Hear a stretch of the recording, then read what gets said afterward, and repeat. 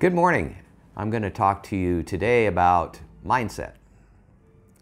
So I've been talking to uh, a lot of clients and, and, different business owners recently, and I'm hearing a lot of, I can't do that, uh, or my team can't do that, or we can't do that, or I don't know how to do I'm not good enough to do that, that sort of thing. So check your mindset, check your beliefs about yourself. Uh, if, you, if you say to yourself, I can't, then you're right, you can't. So try to try to flip it around and say, you know, I can or I will find a solution to this. I will do this.